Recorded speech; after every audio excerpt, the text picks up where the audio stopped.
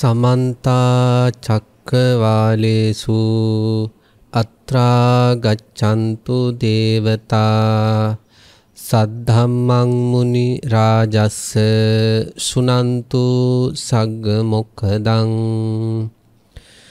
ධම්මස්සවන කාලෝ අයං බදන්තා ධම්මස්සවන කාලෝ අයං බදන්තා ධම්මස්සවන කාලෝ අයං බදන්තා. නමෝ තස්ස භගවතෝ අරහතෝ සම්මා සම්බුද්දස්ස. නමෝ තස්ස භගවතෝ අරහතෝ සම්මා සම්බුද්දස්ස. නමෝ තස්ස භගවතෝ අරහතෝ සම්මා සම්බුද්දස්ස. පුනච පරම් භික්ඛවේ භික්ඛු භාවනාරාමෝ හෝති භාවනාරතෝ පහානරාමෝ හෝති පහානරතෝ තායච පන භාවනාරාමතාය භාවනාරතියා පහානරාමතාය පහානරතියා නේවත්තානු කංසේති නෝ පරන් වම්බේති තී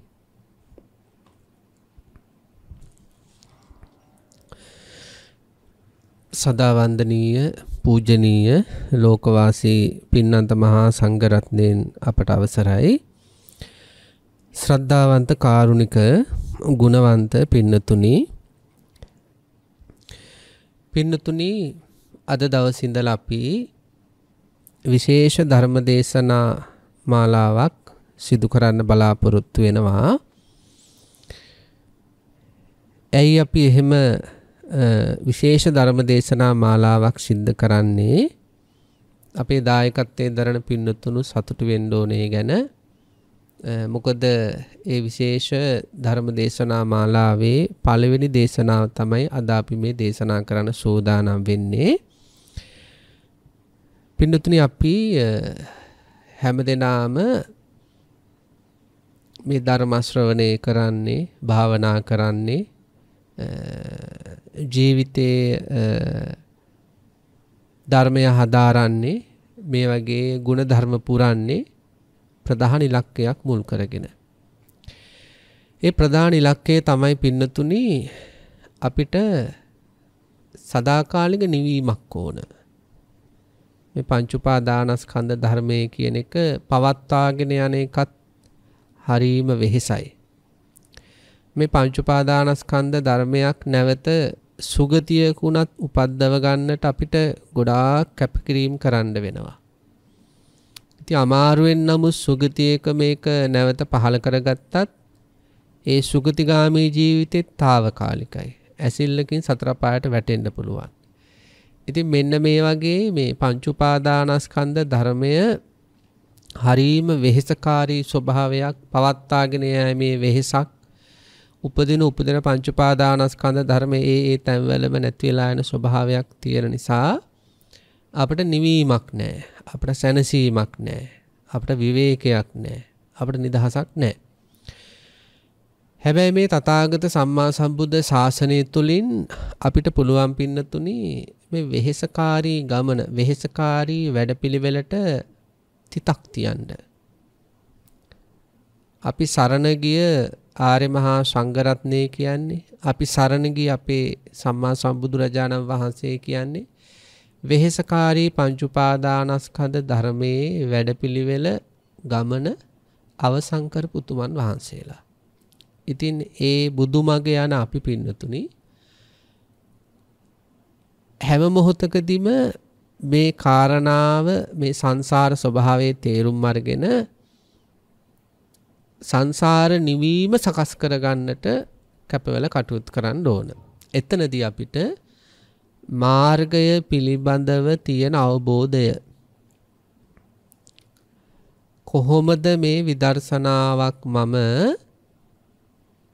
මුල් පියවරේ ඉඳලා මුල් පියවරේ ඉඳලා කොහොමද මම මේ මේ පංච උපාදානස්කන්ධ ධර්මයේ යථාභූත ස්වභාවය අවබෝධ වෙන මොහොත දක්වා මේක කරගෙන යන්නේ කියලා අපිට වැඩපිළිවෙල ගැන අවබෝධයක් තියෙන්න ඕන. ඒකට කියනවා මාර්ගය දැනගන්න ඕන කියලා. ඉතින් අනේ මාර්ගය දැනගන්නට උපකාර වන විදියට තමයි අපි සුවිශේෂී විදර්ශනා මාර්ගයක් විදියට මේ ශාසනයේ සඳහන් වෙන සත්තානුපස්සනා කියන විදර්ශනා මාර්ගය පින්නතුනි අද ඉඳලා දේශනා කරන්න බලාපොරොත්තු වෙන්නේ. පින්නතුන්ට මතක ඇති අපි දැන් කාලයකට කලින් සතර සතිපට්ඨානය මුල් කරගෙන දේශනා 21ක් කරන්නට යෙදුනා. එන සතර සතිපට්ඨානය තුළ අපි දන්නවා කර්මස්ථාන 21ක් තියෙනවා. කායානුපස්සනාවට 14කුත් වේදනානුපස්සනාවට එකකුත් චිත්තානුපස්සනාවට එකකුත් ධම්මානුපස්සනාවට පහකුත්. ඉතින් මේ කර්මස්ථාන 21 පිළිබඳ අවබෝධයක් ලබා ගන්න පුළුවන් විදියට අපි දේශනා 21ක් සිද්ධ කළා. ඒ වගේම තවත් සුවිශේෂී විදර්ශනා වැඩපිළිවෙලක් තමයි මේ සත්තානුපස්සනා කියලා කියන්නේ. එතකොට අපි මේක හැබැයි යම්කිසි පිළිවෙලකට සිද්ධ කරන්න බලාපොරොත්තු වෙන නිසා අපි අද දවසේ ඉස්සෙල්ලම කතා කරන්න බලාපොරොත්තු වෙන්නේ පින්වතුනි ඇත්තටම විදර්ශනා භාවනාවකට සූදානම් වෙන්නේ කොහොමද කියලා. විදර්ශනා භාවනාවකට අපි මූලික පසුබිම සකස් කරගන්නේ කොහොමද කියලා අද දවසේ කතා කරන්න බලාපොරොත්තු වෙන්නේ. ඊට පස්සේ අපි ඊළඟ දවසේ බලාපොරොත්තු වෙන්නේ මොකද්ද මේ සත්තානුපස්සනා කියන්නේ කියලා දැනගන්න. මොකද්ද මේ සත්තානුපස්සනා කියලා කියන්නේ අපි දන්නවා අනිච්චානුපස්සනා, දුක්ඛානුපස්සනා, අනාත්තානුපස්සනා, නිබ්බිදානුපස්සනා, නිරෝධානුපස්සනා, විරාගානුපස්සනා, පටිනිස්සග්ගානුපස්සනා. අනුපස්සනා හතක් තමයි මේ සත්තානුපස්සනා කියන්නේ. එතකොට දෙවෙනි දවසේ අපි බලාපොරොත්තු වෙනවා දෙවෙනි දේශනාවෙන් සත්තානුපස්සනා කියන්නේ මොනවද? ඒ සත්තානුපස්සනා වඩනකොට ශ්‍රාවකයාගේ මනසට වෙන්නේ මොනවද කියලා. අපි දන්නවනේ දැන් අකුසලයක් තුල වාසය කරද්දී මනසට ඒකෙන් සිදුවෙන බලපෑමක් තියෙනවා. අන්න ඒ වගේ ශෝකයක් ශෝකයකටපත් වෙද්දී දුකකටපත් වෙද්දී ඊට අදාළ මානසිකත්වයේ විපර්යාසයක් සිද්ධ වෙනවා. ඒ වගේ විදර්ශනා මාර්ගයක් පුරුදු පුහුණු කරද්දිත් මනසේ ලොකු ධනාත්මක වෙනසක් වෙනවා. එතකොට අනුපස්සනාවෙන් අනුපස්සනාවට ඔය හිතේ සිදුවන වෙනස්කම් මොනවද අතීතයට සාපේක්ෂව කියලා අපි දෙවෙනි දවසේ විදියට සත්තානු පස්සනා පිළිබඳ මූලික හැඳින්වීමක් සිදු කරන්න බලාපොරොත්තු වෙනවා. ඊට පස්සේ අපි සිද්ධ කරන්නේ අනුපස්සනාවෙන් අනුපස්සනාව අරගෙන අපි ඒ දේශනා මාලාව සිද්ධ කරන එක. ඉතින් මේක අපි ඊටාම ඊටාම සරලවම ගැඹුරු කාරණා වුණත් සරලවම දේශනා කරන්නට උත්සාහ කරනවා හැම දිනාට මේක ලොකු යහපතක් වෙනව කියලා දන්න නිසා. පින්නතුනේ එතකොට අද දවසේ අපි සිහිපත් කළ අපි අද කතා කරන්නේ මේ භාවනාවකට විදර්ශනා භාවනාවකට විදර්ශනා භාවනා මාර්ගයක් පුරුදු පුහුණු කරන්නට සූදානම පසුබිම සකස් කරගන්නේ කොහොමද කියලා කතා බහ කරන්න. පින්නතුනි අපි විදර්ශනා භාවනාවකට යොමු වෙන්නට කලින් ඉස්සෙල්ලම අපි කල්පනා කරලා බලන්න ඕන මම මේ සඳහා කල්යාණ මිත්‍ර සම්පත්තියක් හොයාගන්න ඕන. මේ කල්යාණ මිත්‍රයා මතයි මේ ශාසනය රඳා පවතින්නේ කියලා බුදුරජාණන් වහන්සේගේ බුද්ධ වචනයක්ම තියෙනවනේ. එතකොට මොකද කල්යාණ මිත්‍රයා තමයි අපිට ධර්ම sannivedanaya කියන එක කරන්න පින්නතුනි. පිනතුන් හිතන්න ඔන්න දැන් දුර පළාතක ඉන්න තමන්ගේ කෙනෙක් ලිපියක් එවනවා. ඒ කියන්නේ ලිපියක් තුල තියෙන පණිවිඩයක්නේ. මොකක් හරි විස්තරයක්. එතකොට දුර පළාතක ඉන්න තමන්ගේ ඥාතියෙක් හරි දරුවෙක් හරි එහෙම පණිවිඩයක් ලිපියක් එව්වම ඒ ලිපිය තමන්ගේ අතට යම්කිසි පුද්ගලයෙක් ලැබෙන සලස්වනවා.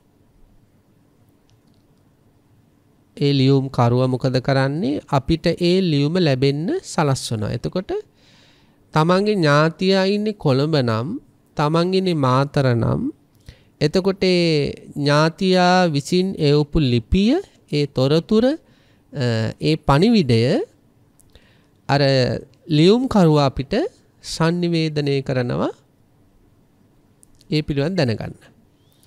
අන්න වගේ තමයි මේ සම්මා සම්බුදු රජාණන් වහන්සේගේ දහම් පණිවිඩයක් තියෙනවා. එදා ඉසිපත්තන මිගදායේදී අපේ තථාගත සම්මා සම්බුදුරජාණන් වහන්සේ අවබෝධ කරගත් ධර්මය දහම් පණිවිඩයක් විදියට අපට sannivedanaya කරන්නේ කවුද? කල්යාණ මිත්‍රයා.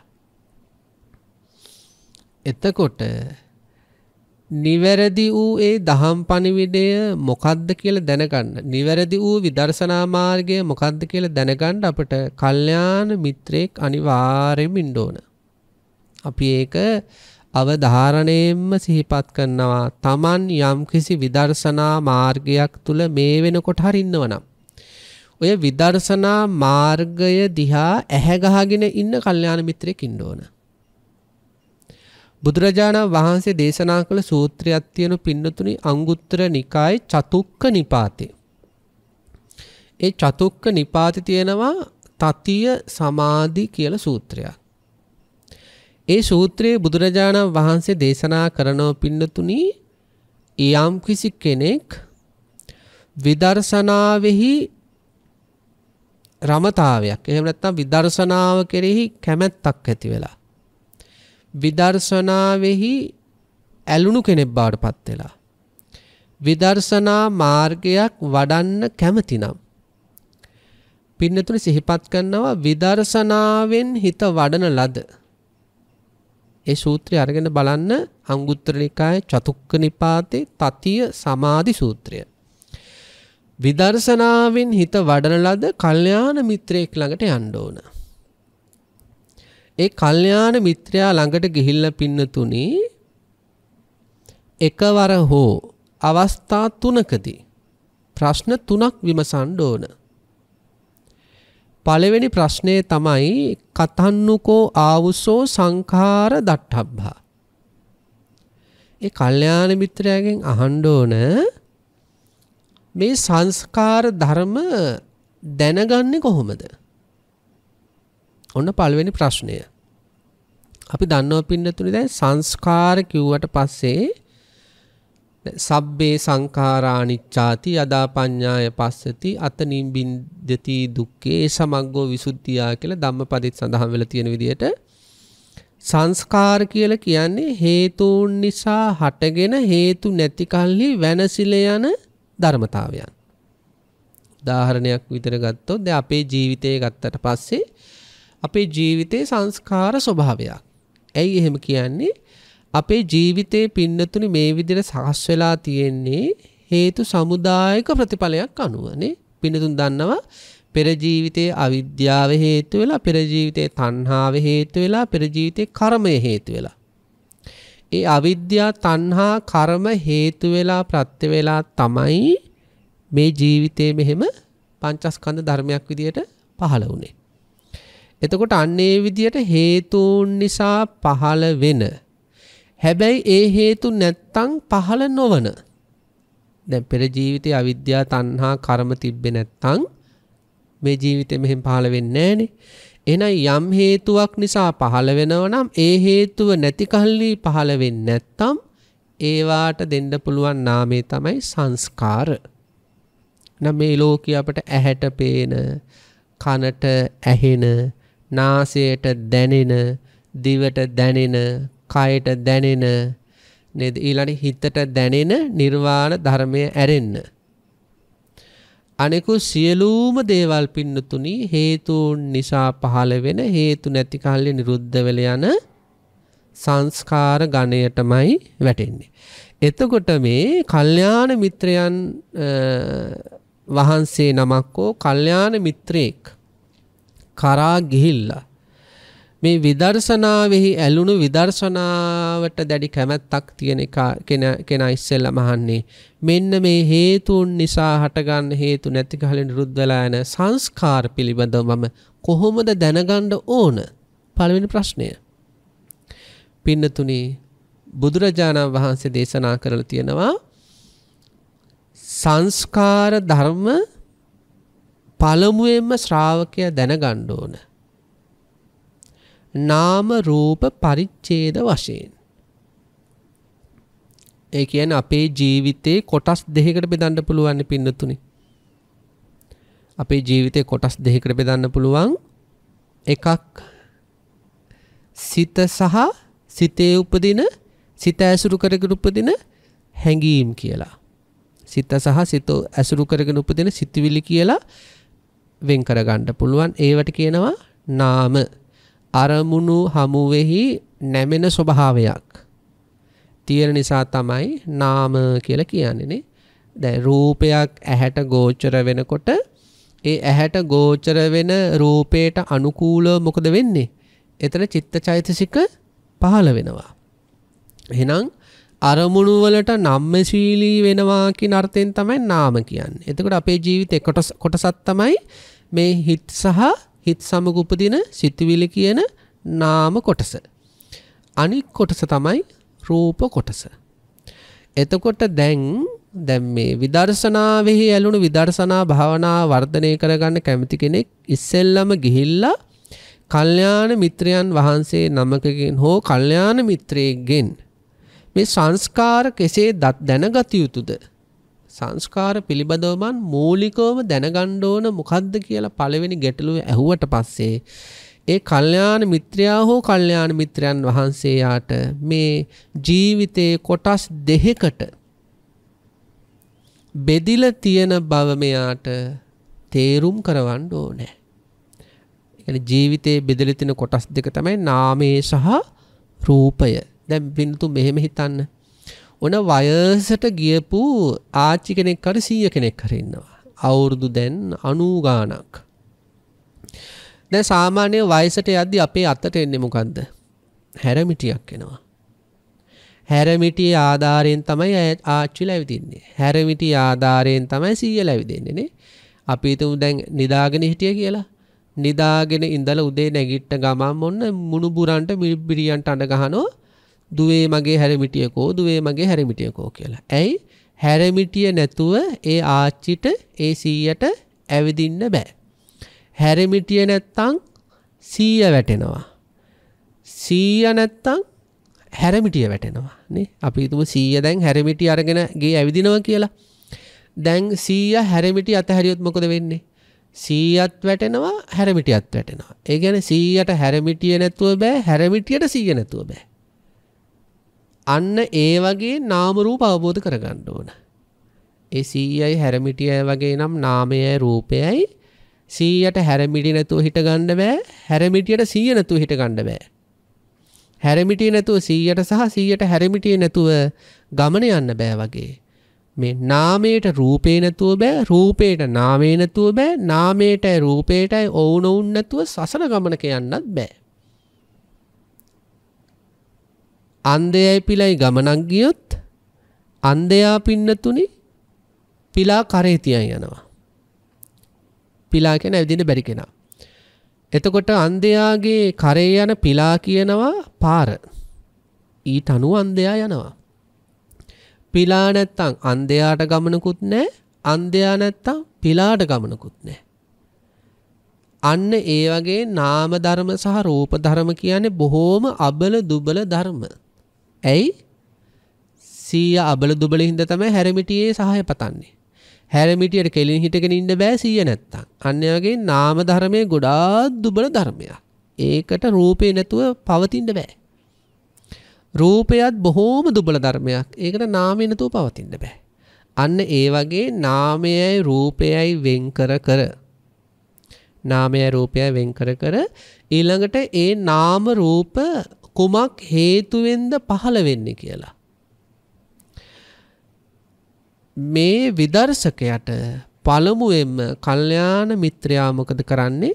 තේරුම් කරලා දෙන්න ඕන පුළුල් වශයෙන්. ඒකට අපි කියනවා නාම රූප පරිච්ඡේද ඥානය ඇති කර ගැනීමට උදව් කිරීම කියලා. ඊළඟට මෙන්න මේ නාම රූප පරිච්ඡේද ඥානය හොඳට යෝනිසෝ මනසිකාරයෙන් දැකලා දැකලා දැකලා පුරුදු පුහුණු කලාට පස්සේ ඒ විදර්ශකයා නැවත අහනව කල්යාණ මිත්‍රයාගෙන් කතං සංඛාරා සම්මසිතබ්බා හරි දැන් නාම රූප නම් දැන් වෙන්කොට ගත්තා. නාම රූප පරිච්ඡේද ඥානය ඇති කරගත්තා. දැන් කොහොමද මේ සංස්කාර ධර්ම සම්මර්ෂණය කරන්නේ කියලා. මෙතන මේ සම්මර්ෂණය කියලා කියන කියන්නේ පින්නතුනේ හරිම මේ වැදගත් තැනක්. සම්මර්ෂණය කියන කරනවා කියන්නේ පින්නතුනේ අර වෙන්කොට ගත්ත නාම රූප ධර්ම අනිත්‍ය ලක්ෂණ මතුවෙන විදියට දුක්ඛ ලක්ෂණ මතුවෙන විදියට අනාත්ම ලක්ෂණ මතුවෙන විදියට පුන පුනා පුන පුනා සිදු කරන මෙනෙහි කිරීමට යෝනිසෝ මනසිකාරයට කියනවා සම්මර්ෂණය කියලා. ඇත්ත ඇත්තට පින්නතුනේ මෙන්න මෙතනින් තමයි හදවත අදහන්න පටන් ගන්න මේ නාම රූප પરම්පරාව. එහෙම නැත්නම් මේ පංච උපාදානස්කන්ධ ධර්මය ඒ කාන්තේම අනිත්‍ය ස්වභාවයටමයි අයිති. දුක්ඛ ස්වභාවයටමයි අයිති. ඊළඟට අනාත්ම ස්වභාවයටමයි අයිති කියලා අදහන්න පටන් ගන්නේ හදවතින්ම මෙන්න මේ සම්මර්ෂණයේ ඉඳලා. පින්නතුනි අපි මේක උපමාවකින් තේරුම් ගමු. ඔන්න යම්කිසි අම්ම කෙනෙකුට ඉන්නවා ආරක්ෂක අංශයේ වැඩ කරන පුතෙක්. මේ ආරක්ෂක අංශයේ වැඩ කරන මේ පුතා යුද්ධයකට යනවා. යුද්ධයකට ගියාට පස්සේ මේ අම්මට ආරංචි වෙනවා යුද්ධෙදි පුතා මැරුණ කියලා. ඉතින් මේ අම්ම ගෙදරට වෙලා හොඳටම ඥාතීත් එක්ක එකතු වෙලා අඬ අඬ ඉද්දි ඔන්න පෙට්ටිය ගෙදර ගේනවා. හැබැයි ආරක්ෂක අංශයේ නිලධාරීන් කියනවා පෙට්ටිය සීල් කරලා තියෙන්නේ කියලා. ඒ කියන්නේ අම්මට දැන් මේ පෙට්ටිය ඇතුලේ මිය ගිහිල්ලා ඉන්න පුතා දැක ගන්න හම්බ වෙන්නේ නැහැ. පෙට්ටිය සීල් කළා. මේ අම්මට අපි පින්නතුන්ගෙන් අහන්නේ 100ට 100ක්ම විශ්වාසද සීල් කරපු පෙට්ටිය ඇතුලේ ඉන්නේ තමන්ගේ පුතා කියලා. එයාට 100ට 100ක් විශ්වාස නැහැ. එයා කෑ ගහ ගහ කියනවා මට මේක බලන්න ඕන බලන්න ඕන මගේ පුතා හැම මැරෙන්න බෑ මැරෙන්න බෑ කියලා මේ අම්මට අර සීල් කරපු පෙට්ටිය ඇතුලේ තමන්ගේ පුතා මිය ගිහිල්ලා ඉන්නව කියලා 100ක විශ්වාසයක් නැහැ සැකයක් තියෙනවා. සමහරට පුතා නොවෙන්නත් පුළුවන්නේ. අන්න ඒගේ අදහසක්. හැබැයි යම්කිසි මොහොතක අපි හිතමල නිලධාරීන් සීල් එක කඩනවා. කඩලා පෙන්නනවා මේ බලන්න මේ ඉන්නේ ඔබේ පුතාද කියලා. එතකොට ඇත්තට මේ අම්මගේ පුතා නම් ඒ පෙට්ටිය ඇතුලේ ඉන්නේ. අම්මට අර තිබ්බර සැකවලට මොකද වෙන්නේ? නිදේ සියලුම නොඇදහීම් ඒ සියලු සැකකිරීම් පහවෙල ගිහිල්ලා මෙයා අදහන්න පටන් ගන්නවා මගේ පුතා තමයි මේ මැරිලා ඉන්නේ කියලා. ඒ උපමාව හොඳට තේරුම් ගන්න ඕන. පෙට්ටිය සීල් කරලා තියෙද්දි අම්මට 100%ක් විශ්වාස නැහැ මැරිලා ඉන්නේ පුතා කියලා. එයා අදහන්නේ ඒක. සමහර විට පුතා නොවෙන්න පුළුවන්. හැබැයි පෙට්ටිය ඇරලා බැලුවම මෙයාට 100%ක විශ්වාසයක් ආවා අනේ දෙයනේ මේ පුතා තමයි. නේ පුතාගේ ලක්ෂණ වලින් මෙයා තේරුම් ගත්තනේ පුතා කියලා.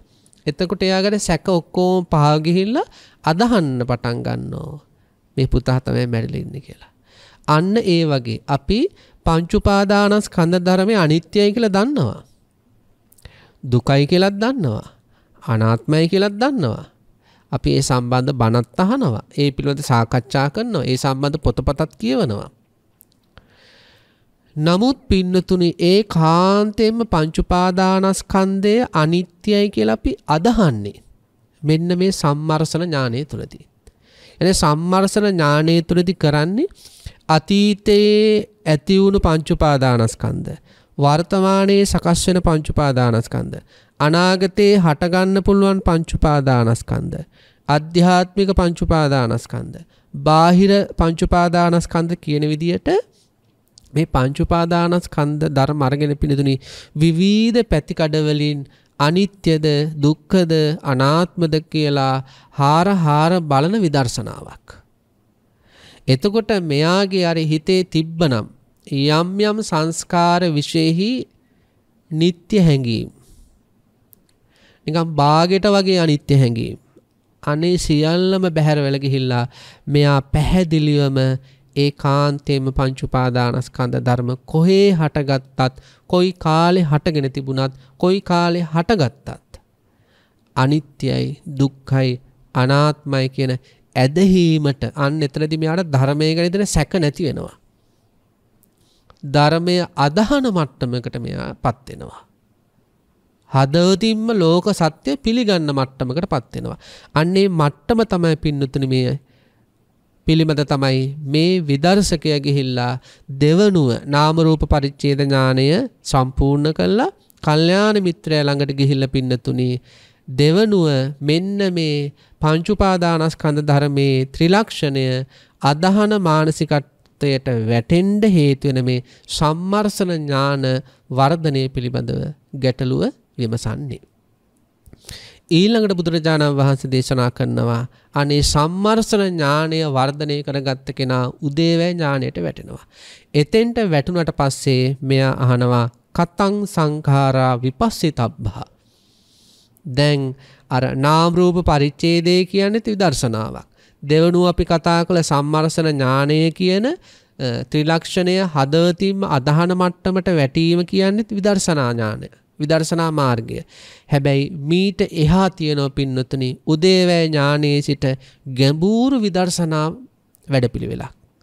උදේවැය ඥාන, භංග ඥාන, බයිතුපට්ඨාන ඥාන, ආදීනව ඥාන, නිබ්බිධානු ඥාන, මුංචිතු කම්මතා ඥාන, පටිසංකා ඥාන, ඒ විදියට අනුලෝම ඥාන, සංස්කාර උපේක්ෂා ඥාන, අනුලෝම ඥාන කියන විදියට ගෝත්‍ර පුඥාන කියන විදියට මේ අර නාම රූප පරිච්ඡේද ඥානය සම්මරසන ඥානය සම්පූර්ණ කරගත්ත යෝගාවචරයා එතනින් එහාට අති සුවිශේෂී විදර්ශනා මාර්ගයකට පත් වෙන්න ඕන. අන්නේ මාර්ගය තමයි පින්නතුනි මේ අහන්නේ කතං සංඛාරා විපස්සිතබ්බා. එතකොට ඒ කල්යාණ මිත්‍රයා අන්නේ ඊතුරු මාර්ග ටික කියලා දෙනවා.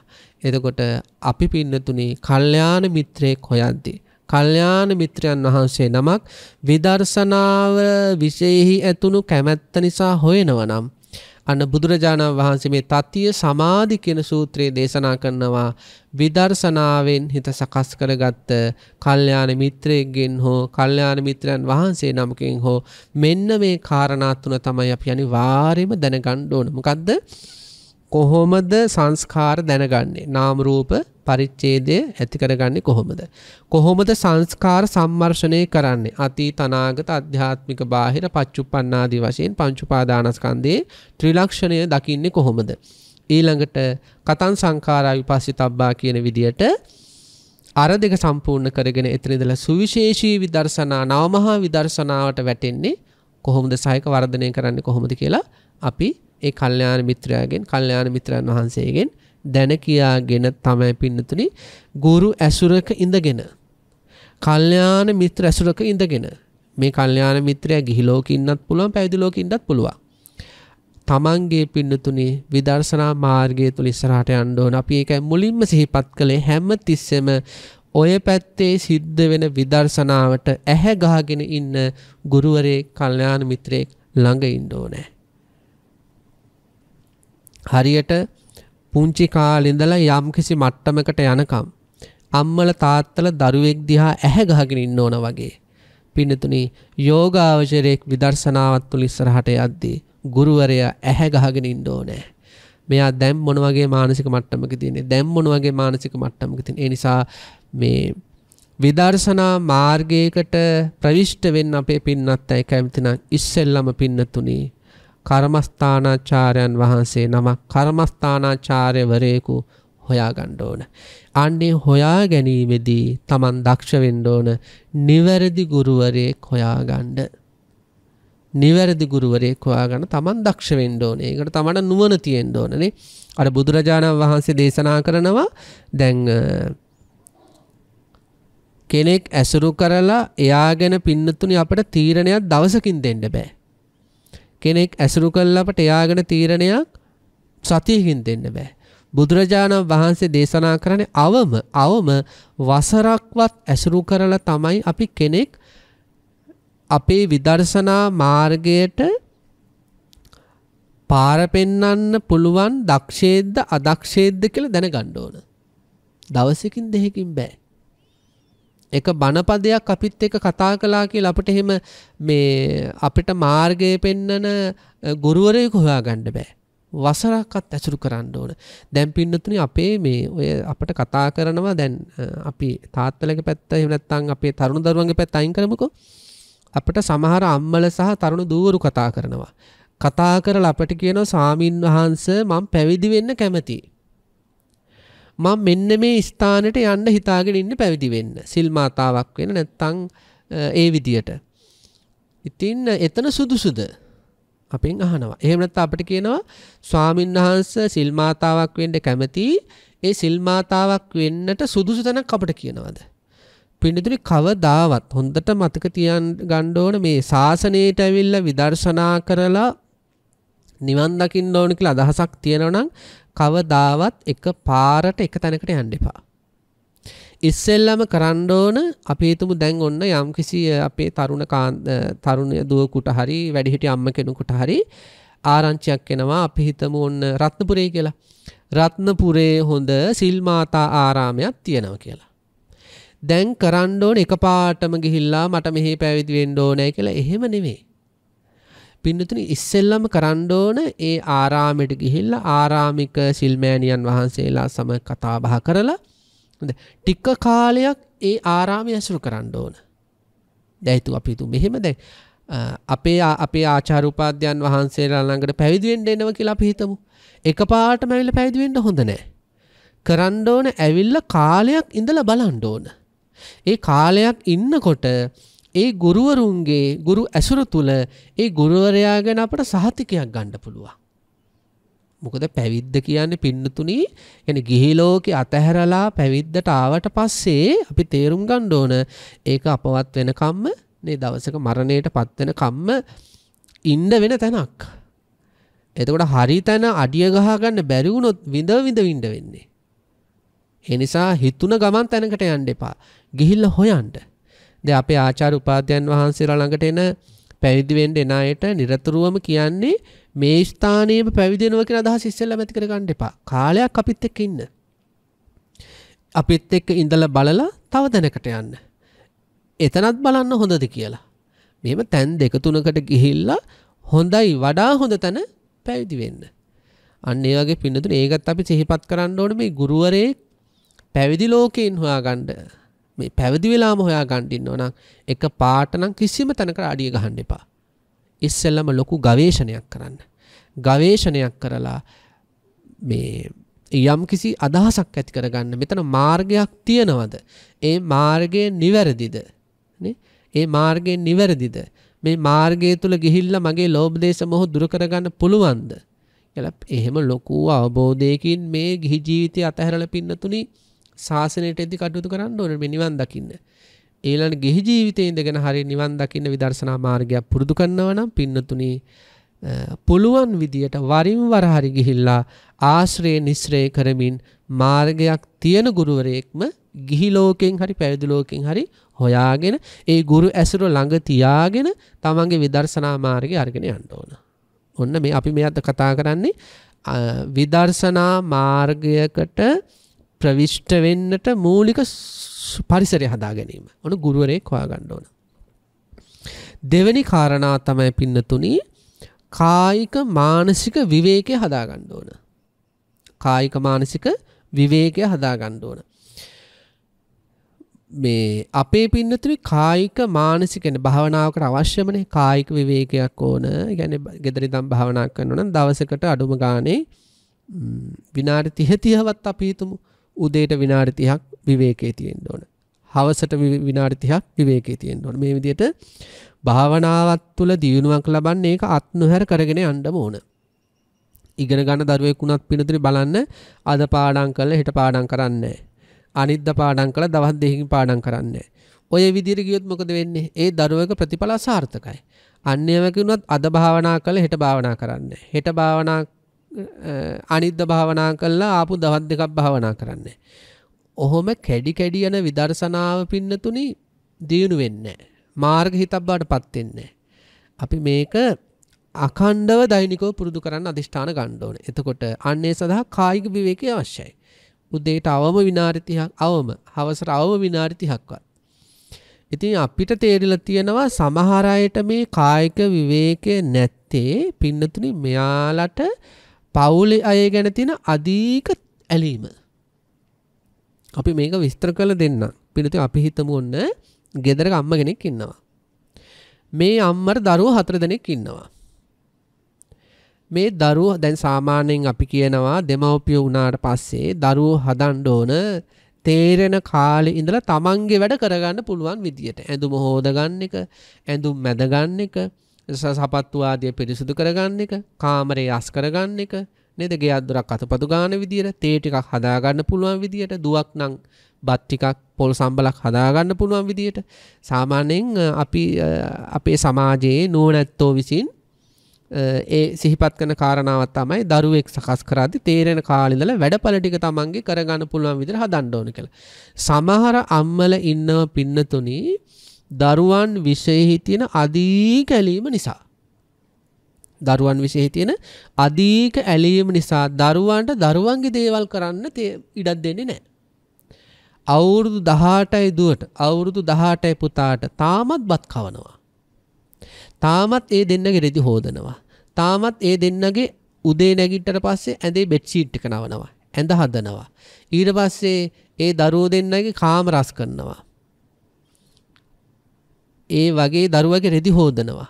මේ වගේ සමහර අම්මල ඉන්නව පින්නතුනි අර තමන්ගේ වැඩ කරගන්න පුළුවන් මට්ටමේදීත්. ඒ දරුවන්ට ඒ දේවල් කරගන්න දෙන්නේ මොකද මෙයාට අර දරුවෝ ගැන ඇතිවෙන අධික තණ්හාව තුල අධී කැලීම තුල නේද? අපට පින්නතුණි යමෙක් ගැන අධික ඇලීමක් ඇති වෙනකොට අපට එයාව දැනෙන්නේ නොදරුවෙක් වගේ. හරියට පරිස්සම් කරන්න යොමු වෙනවා එයා එයා බබෙක් වගේ බලා ගන්න හදනවා. ඒක තමයි ඔය අපි මේ සිහිපත් කරන්නේ. අපට යමෙක් ගැන දැඩි ඇලීමක්, උපාදානයක්, ආලයක්, ස්නේහයක් තියෙනවා ඒ එහෙම අපට දැඩි ඇලීමෙන් ස්නේහයෙන් යමෙක් අරමුණු වෙනකොට එයාව අපට දැනෙන්නේ බබෙක් වගේ. එයා ගොඩක් පරිස්සම් කරන්න ඕනේ. ඊළඟට එයාගේ වැඩ ගන්න හොඳ නෑ. අන්න ඒ වගේ අර ඒ උපාදානය නිසා ඇතිවෙන මානසික තත්ත්වයක්. ඒ තුල මොකද වෙන්නේ? දැන් අපේ සමාජයේ ඉන්න බොහෝ අම්මල පින්නතුනේ දරුවන්ට තමන්ගේ වැඩ කරගන්න පුළුවන් කාලෙත් මේ අම්ම අර දරුවන්ගේ වැඩ කරන්න යොමු වෙනවා. එහෙනම් දරුවෝ හතර දෙනෙක් ඉන්න පවුලක අම්මා අර දරුවෝ හතර දෙනාගේ ඔක්කොම කරන්න ගියොත් මොකද වෙන්නේ? ඒ අම්මට කායික විවේකයක් නම් නැහැ. මේක හොඳට හිතර ගන්න ඕන කාරණාවක් යුතුයකමේ සීමාව දැනගන්න. භාර්යාව කෙරෙහි කළ යුතු යුතුයකම් තියෙනවා. හැබැයි ඒකේ සීමාව දැනගන්න. ස්වාමියා විශේෂෙහි කළ යුතු යුතුයකම් තියෙනවා. ඒකේ සීමාව දැනගන්න. දරුවන් විශේෂෙහි කළ යුතු යුතුයකම් තියෙනවා. හැබැයි ඒකේ සීමාව දැනගන්න. අසීමාන්තිකව පින්නතුනි තමන්ගේ යහපතත් වළක්කගෙන තමන්ගේ සසර ගමනත් දුකටපත් වෙන විදියට යුතුයකම් කරන්න යන්න එපා. දැන් බලන්න අපි මේ සිහිපත් කරන්නේ මේ භාවනා කරන්නට අපි පරිසරය හදාගන්න හැටි, ඉඩ හදාගන්න හැටි, කාලය හදාගන්න හැටි. දැන් බලන්න සමහර අම්මල තාත්තලා ඉන්නවා ඔන්න දූල පුතාලා විවාහ කළ දෙනවා. දූල පුතාලා විවාහ වෙලා එයාලගේ කූඩු කොහේ හරි හදා ගන්නවා. දැන් මේ දූල පුතාලා දැනගන්න ඕනේ එයාලගේ කූඩුව පවත්වාගෙන යන්න. මොකද එයාලා වෙන වෙලා ගියානේ.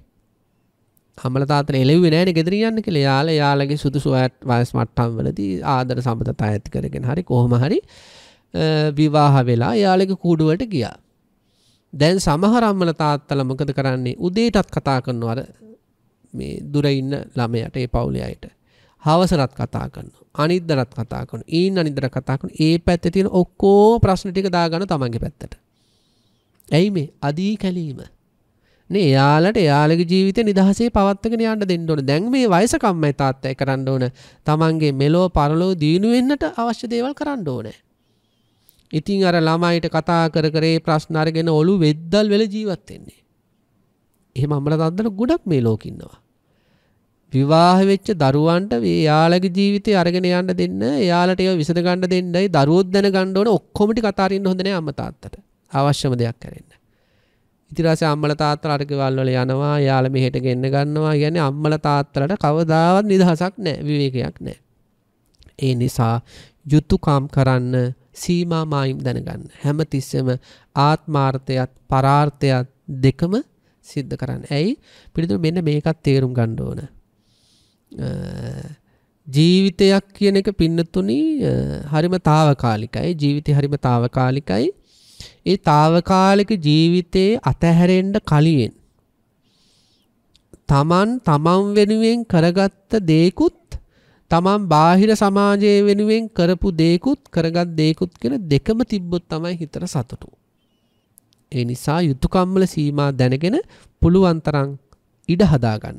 නේ අපි හිතමු දැන් මෙහෙම දැන් ඔය සමහර තරුණ දරුවන් ඉන්නවා අපි හිතමු දැන් ඔන්න රැකියාවට යනවා රැකියාවට යනවා ඊළඟට හවස ගෙදරෙනවා ඇැ මේ තරුණ දරුවෙක් වුණත් අපි හිතම රූපවාහිනිට ඇබ්බැහිවෙල ඉන්නවනම් ජංගම දුරකතරට ඇබ්බැහිවෙල ඉන්නවනම් යනි දරුවටර භාවනාවකට සකස් කර ගණ්ඩ පුළුවන් ගණ්ඩ පුළුවන් විවේකය ගන්න පුළුවන් ඉඩ අර රූපවාහිනයට ගෙවිල යනවා. ඒ නිසා සමහර එහෙම දරුවොත් ඉන්නවා. ඒ නිසා මේ කායික විවේකය කියන එක සැලසුමක් හදාගන්න උදේට විනාඩි 30ක්වත් අවසර විනාඩි 30ක්වත් මේ භාවනාව වෙනුවෙන් Taman වෙන් කරගන්න ඕන. කායික විවේකය. ඒ කායික විවේකයට අවශ්‍ය පරිසරයේ සකස් වෙද්දී ඒක මනසටත් සහනයක් වෙනතර මානසික විවේකයක් ඇති වෙනවා. අනේ කායික මානසික විවේකය ඇති ඊට පස්සේ මොකද කරන්න ඕන? ඔන්න විදර්ශනා භාවනාවට යොමු වෙනවා. ඒ කියන්නේ අපට නිශ්චිත වෙලාවක් තිරුණම් පින්නතුණි මේ භාවනාවට නේ මම හැමදාම උදේ 5 ඉඳලා 5 මාරණකම් භාවනා කරනවා. හවස 6 ඉඳලා 6 මාරණක හරි 9 මාර ඉඳලා 10 වෙනක හරි මම භාවනා කරනවා කියලා එහෙම අපේ දෛනික කාලසටහනේ එහෙම වෙන්කිරීමක් තියෙනවා නම් ඒක පුදුම නිදහසක්. කායික නිදහසක් මානසික නිදහසක්. ඉතින් අන්නේ ඒක අපි භාවනාවලට යොමු වෙන්නට කලින් ඒව අපි හදා ගන්න ඕන. නිශ්චිත වෙලාවක් වෙන් කරගන්න නේද? ඉඩක් තිබ්බොත් භාවනා කරනවා, කොයි යම වෙලේක හරි භාවනා කරනව නෙවෙයි. මේ වෙලාවට භාවනා කරන්නේ. වැඩට යනවද ගෙදරින් 8ට මම. නේ? එහෙන් අන්න ඒ වගේ අර වැඩට යන වෙලාවක් වෙන් කර ගන්න වගේ භාවනාවට වෙලාවක් වෙන් කර ගන්න ඕන. ඊළඟට පින්නතුණි සතර කමටහන යම් පමණකට පුරුදු කරලා තියෙන්න ඕනේ. ඒකත් ගොඩාක් වැදගත් කාරණාවක් මේ සිහිපත් කරන්නේ. දැන් විදර්ශනා මාර්ගයක් පුරුදු පුහුණු කරගෙන නිදහසේ ඉස්සරහට යන්න නම්. ඇයි සතර කමටහන් පිළිබඳ අපි දැනගන්නේ? සතර කමටහන කියන්නේ එතන තියෙන්නේ කමටහන් හතරක්. චතුරාර්යක හා භාවනා කියලා අපේ ආචාර પરම්පරාවලින් ඒ කමටහන් හතරට නම් දීලා තියෙනවා. චතුරාර්යකා කියන්නේ හතර පැත්තකින් අපට ආරක්ෂාව දෙන නිසා. බුද්ධානුස්සතිය මෙත්තානුස්සතිය අසුභානුස්සතිය මරණානුස්සතිය. ඇයි මේ සතර කමටහන් පිළිබඳව යෝගාවචරය දැනගන්න ඕනේ කියලා කියන විදර්ශකයා. පිළිතුරු විදර්ශනාවක් කරගෙන යද්දී අපට බාධා කරන ප්‍රධාන අකුසල් හතරක් තියෙනවා. එකක් තමයි දේශය. එකක් තමයි උපාදාන. එකක් තමයි රාගය. එකක් තමයි කුසීතකම. බලන්න විදර්ශනාවක් කරගෙන යද්දී රාගයෙන් ප්‍රශ්නෙන්නේ නැද්ද? රාගයෙන් ප්‍රශ්න එනවා. බාධා එනවා. දේශයෙන් බාධා එන්නේ නැද්ද? දේශයෙන් බාධා එනවා. සමහර දේවල් සමහර අය ගැන සමහර වස්තු ගැන හිතේ තියෙන උපාදානි බාධාවක් වෙන්නේ නැද්ද? උපාදානි බාධාවක් වෙනවා. ඊළඟට කම්මැලිකම කම්මැලිකම් බාධාවක් වෙන. කියන්නේ අපි මේ විදර්ශනා මාර්ගයේ පුරුදු පුහුණු කරද්දි පින්නතුනි ඔන්න ඔය හැඟීම් අකුසල හැඟීම් හතරින් අපට වරින් වර බාධා එනවා. ඒ වරින් වර බාධා එනකොට ඒ බාධා දුරු කරගන්න තමයි මේ සතර කමටහන ගැන මූලික අවබෝධයක් තියෙන්න ඕන කියලා කියන්නේ. අපි ඒක තවත් තේරුම් ගමු. දැන් ඔන්න යම් කිසි කෙනෙකුට අපි මේ කාලේ රාගය නිසා ප්‍රශ්නයක් තියෙනවා. ශරීරයක් දැක්කට පස්සේ රාගය උපදිනවා. ඊළඟට ඒ රාගය වැඩෙනවා. දැන් මෙයා බලන්න විදර්ශනාවට ගිහිල්ලා ඔන්න අපි හිතමු දැන් ඔන්න දැන් පංච උපාදානස්කන්ධ විදර්ශනාව පටන් ගත්ත කියලා. දැන් මෙයා මේ විදර්ශනාව කරගෙන යද්දි ඔන්න මෙයාට මේ කාලේ වැඩිපුර ඇසුරු කරලා තියෙන රාග හිතෙන් නම් මොකද මෙන්න මෙයාට අර රාගෙන් අරමුණු කරපු දේවල් මතක් වෙන පටන් ගන්න චිත්‍ර රූප වශයෙන්. එතකොට මොකද වෙන්නේ අර පුරුද්දට හිත ඒ පැත්තම යන්න පටන් ගන්නවා. දැන් එතකොට අර මේ පැත්තේ අර විදර්ශනා මානසිකාරය අතහැරෙනවා. එහෙනම් ඒ ඇතිවෙන රාගයක් දුරු කරගන්නට පුළුවන් වෙන්න තමයි අසුබ භාවනාව අපි පුරුදු කරලා තියාගන්න ඕන. ඒක අපි මේ දැන් මෙහෙම හිතන්නකෝ පින්නතුනි. ඔන්න මේ යම්කිසි රාජ්‍යයක් තියෙනවා. මේ රාජ්‍ය රාජ්‍යයක් තියෙනවා. මේ රාජ්‍යයට සතුරු හමුදාවක් එනවා. රාජ්‍යයක් තියෙනවා රටක් තියෙනවා මේ රටට සතුරු හමුදාවක් එනවා. ඒ සතුරු හමුදාව එනකොට මේ කඩු හැදුවොත් හරිද? සතුරු හමුදාව එනකොට කිනිසි හැදුවොත් හරියයිද? සතුරු හමුදාව අපට ප්‍රහාර එල්ල කරද්දී හෙල්ල ඊළඟට පින්නතුනි ඔය විවිධ අවි ආයුධ හැදුවොත් හරියයිද? අපි මේ අවි ආයුධ හදද්දී අර කට්ටියල ගහලා ගිහිල්ලත් ඉවරයි අපිට. නේද? එතකොට ඕනම රටක පින්නතුනි කලින්ම කලින්ම ආයුධ සකස් කළා ආයුධ ගබඩා කරගෙන ඉන්නවා සතුරු ප්‍රහාරයක් එල්ල වෙනකොට පාවිච්චි කරන්න. ඒක හරිනේ. ඕනම රටක ආයුධ ගබඩාවක් වෙනම පින්නතුනි වේල පහින් ආයුධ සකස් කළා ගබඩා කරගෙන ඉන්නවා සතුරු හමුදාවෙන් ප්‍රශ්නයක් ආවොත් පාවිච්චි කරලා පහර දීලා රට බේර ගන්න. අන්න ඒ වගේ පින්නතුනි මේ සතර කමඨාන කියන ආයුධ හතරක්. මේ ආයුධ හතර අපි වේල පහින්ම හදලා තියාගන්න ඕනේ. මොකටද විදර්ශනාව කරගෙන ඉද්දී අර කෙලෙස් සතුරන්ගෙන් ඇතිවෙන ප්‍රශ්නවලදී පාවිච්චි කරන්න. අසුභ භාවනාව කලින් පුරුදු පුහුණු කරපු කෙනෙකුට විදර්ශනාව කරගෙන යද්දි පින්නතුනි යම් රාග හිතක් උපදිද්දී අර මෙයා කලින් අර පුරුදු පුහුණු කරපු අර අසුභ භාවනාව තුළින් මතු කරගත්ත හැඟීම මේ වෙලාවේ පාවිච්චි කරලා ඒ රාගය දුරු කරනවා. විදර්ශනාව කරගෙන යනවා. හැබැයි එහෙම කලින් පුරුදු පුහුණු නොකරපු කෙනෙක් ඒ වෙලාවේ අසුබේ වඩන්න යනව කියන එක හරියට අසුබේ හදාගන්න යනව කියන එක හරියට අර සතුරු එද්දි කඩු හදනවා වගේ වැඩක්. ඒක අසාර්ථකයි. ඊළඟට අපි හිතමු යම් කිසි කෙනෙක් විදර්ශනාවක් කරගෙන යද්දී ඔන්න මෙයාට ආසන කාලේ මේ හරි අතීත කාලේ හරි තරහකාරයෙන් මතක් වෙනවා. ඔන්න එනවා දේශය. හැබැයි මෙයා මුලින් මෛත්‍රිය පුරුදු පුහුණු කළ තියෙන කෙනෙක් නම් එමයා මෛත්‍රී හැඟීම බලවත් කරගත්ත කෙනෙක් නම් අර දේශේ ඇතිවෙච්ච තැන මෙයා මෛත්‍රිය ඇප්ලයි කරනවා. ඒ කියන්නේ මෛත්‍රිය මේ යොදනවා. එතකොට මොකද වෙන්නේ? ඒ ඒ දේශය බැහැර වෙලා ගිහිල්ලා මෙයාට භාවනාව කරගෙන යන්න පුළුවන් පරිසරය සකස් වෙනවා. ඊළඟට අපි හිතමු යම් කිසි කෙනෙකුට උපාදාන තියෙනවා නම් නේ? ඉඩ කඩන් ගැන ජංගම දුරකථනය ගැන හරි එහෙම නැත්නම් වාහනයක් ගැන හරි එහෙම ඉතින් ඇඳුම් පැළඳුම් ගැන ආහාර පාන ගැන එම මොනියම්ම හරි එහෙම යම් යම් දේවල් ගැන තණ්හාවක් උපාදානයක් තියෙනවා නම් මරණ සතිය වඩලා තියෙන්න ඕනේ. මරණ සතිය වේලපහින් වඩපු කෙනෙකුට විදර්ශනාවක් කරගෙන යද්දී මොකක් හරි වස්තුවක් ගැන උපාදානයක් ඇතුණ ගමන්ම මෙයා පුරුදු පුහුණු කරපු මරණ සතිය තුලින් මතු කරගත හැඟීම ඒ වෙලාවට පාවිච්චි කරනවා. හැඟීම එතනට යොදනවා. හැබැයි වේලපහින් මරණ සතිය වඩලා නැති කෙනෙක් විදර්ශනාවක් කරගෙන යද්දී පින්නතුනි ඇතිවෙන උපාදාන දුරු කරගන්න එවෙලේ අර මරණ සතියක් භාවනා වර්ධනය කරන එක හරියට අර සතුරු එනකොට එවෙලේ ආයුධ හදනවා වගේ අසාර්ථක වැඩක්. ඒ නිසා මේ චතුරාර්යකහා භාවනා කියන්නේ විදර්ශකයට තියෙන ආරක්ෂක වැටවල් හතර. අර පුංචි කාලේ පින්නතුන්ට මතක ඇති අර අපේ අම්මලා අපිව තියන කොට් එකක. කොට් එක කියන්නේ ලීරාමු හතරක් තියෙන හතර පැත්තේ.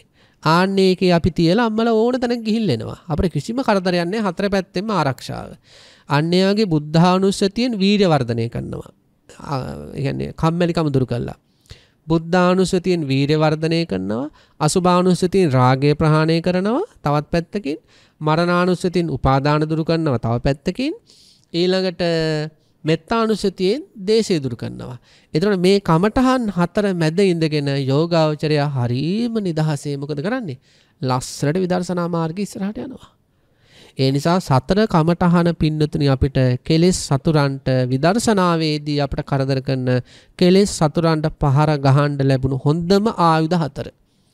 මේව ගැන හොයන්න ඕන පින්නතුනි බුද්ධානුස්සතිය, මෙත්තානුස්සතිය, මරණානුස්සතිය, අසුභානුස්සතිය. මේක අපේ ආචාර්ය පරම්පරාවලින් අතීතයේ ඉඳලාම දෙන පින්නතුනි අවවාදයක් යෝගාවචරයට සතර කමටහන් වර්ධනය කරගෙන ඉන්න විදර්ශනාවට පුදුම රුකුලක් ඒක. දරුව කොට්ටේගේ තිව වගේ පිළිතු හතර පැත්තෙන්ම හිතට රැකවරණයක් නිදහසේ විදර්ශනාව කරගෙන යන්න. එහෙනම් ඔන්න ගැඹුරු විදර්ශනා මාර්ගවලට යොමු වෙන සූදානම් වෙද්දී අවශ්‍ය මූලික පසුබිමේදී අවශ්‍ය පළවෙනි එක තමයි හොඳ ගුරුවරයෙක් හොයාගන්න ඕන හොඳට හොයලා බලලා.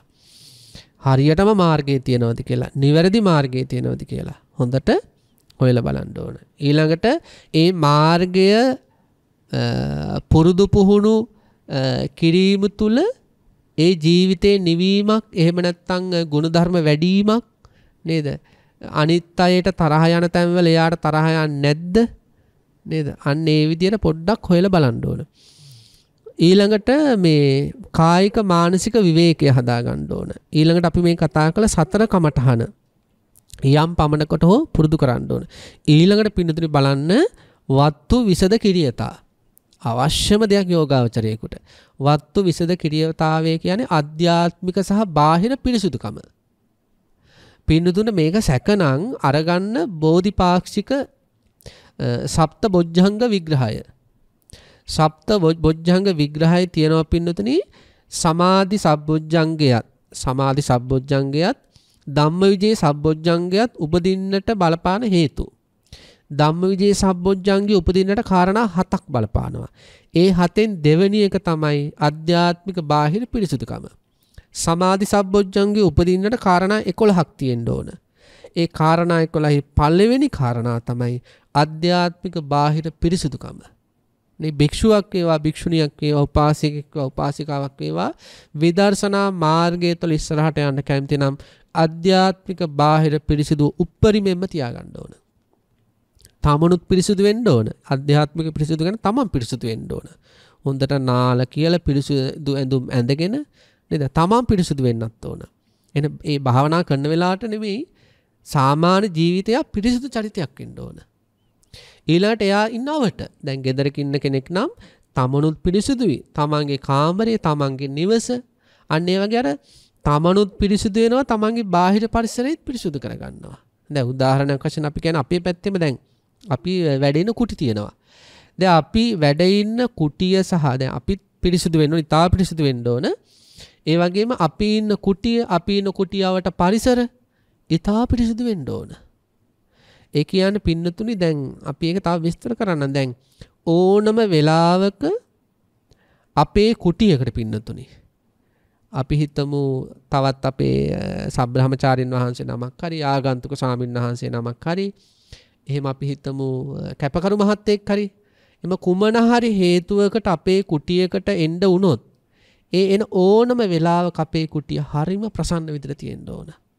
චීවර පුටුවක දාලා චීවර ඇඳක දාලා ඇඳ ඇතිරිලි හරියට හදලා නැහැ.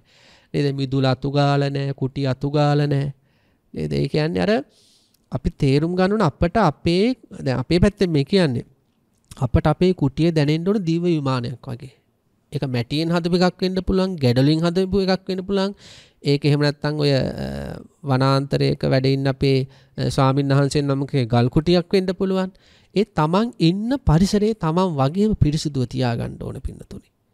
ඒක පුදුම රුකුලක් මේ භාවනාවට වාඩුන ගමන් මේ පිරිසිදුකම දැනෙනකොට තමන්ගේ සහ පරිසරයේ ඒක රුකුලක් මේව වැඩෙන්න. ඒකයි මේ බොජ්ජංග විස්තරයේ තියෙන්නේ සමාධි සබ්බොජ්ජංගයත් ධම්මවිජේ සබ්බොජ්ජංගයත් වර්ධනය වෙන්න අනිවාර්යම වත්තු විසද ක්‍රියාතාවේ තියෙන්න ඕන.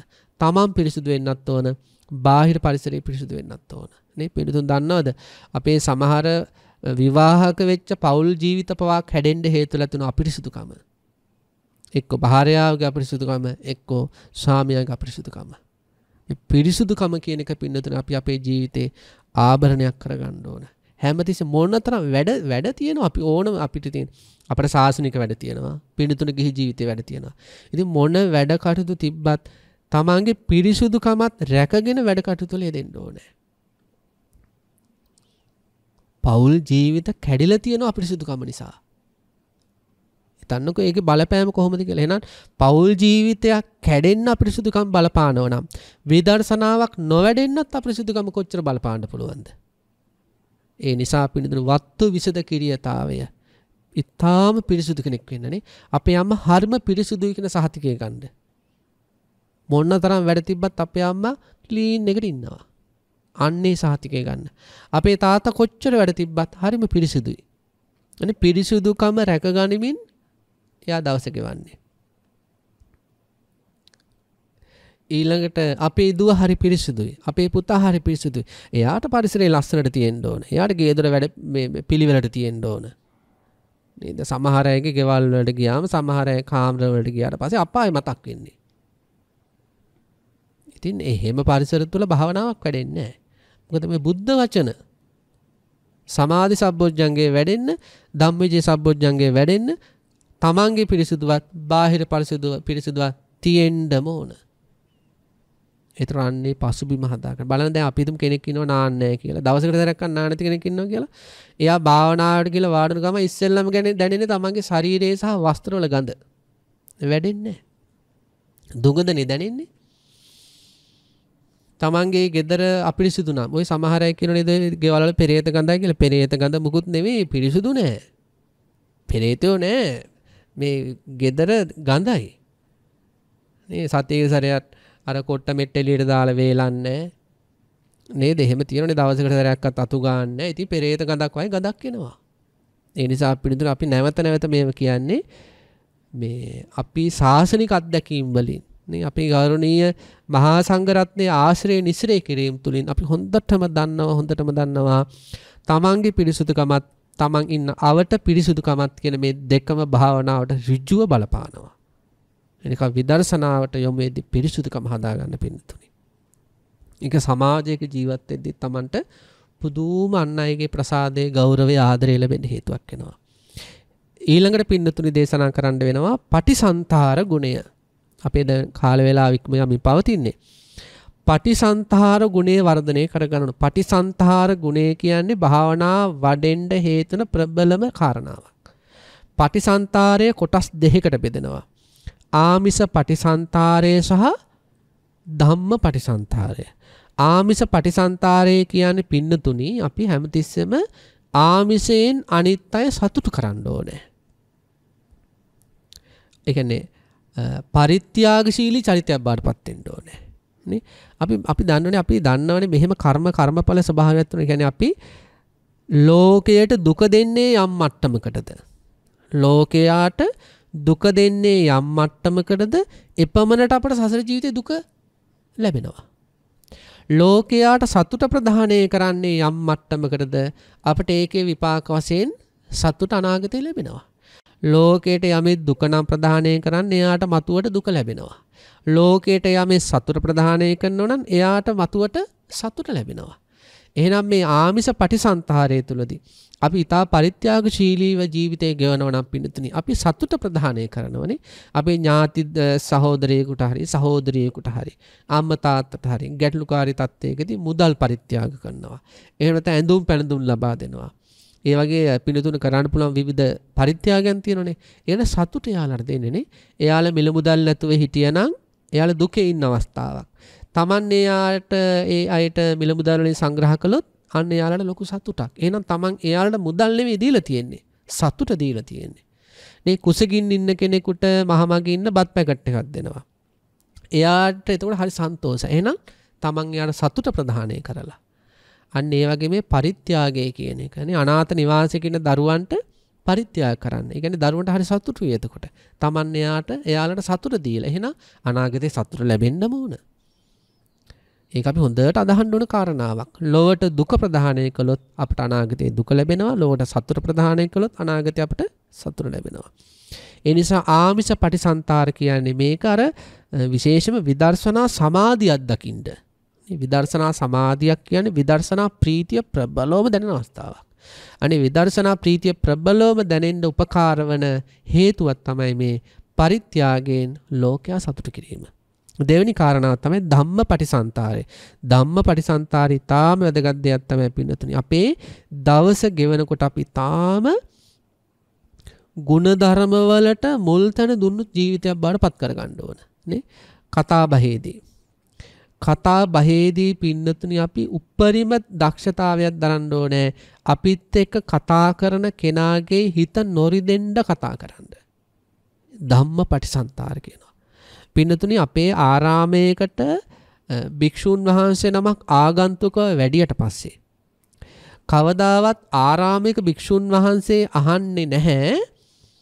මේ ඔබ වහන්සේට අභිධර්මයේ පුළුවන්ද?